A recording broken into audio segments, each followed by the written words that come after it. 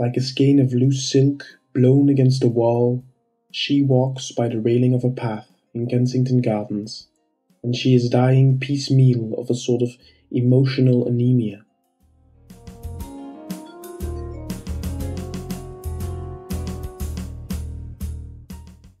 Round about there is a rabble Of the filthy, sturdy, unkillable infants of the very poor. They shall inherit the earth.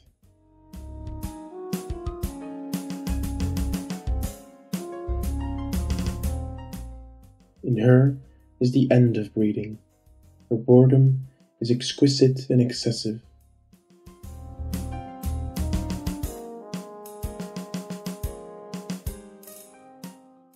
She would like someone to speak to her, and is almost afraid that I will commit that indiscretion.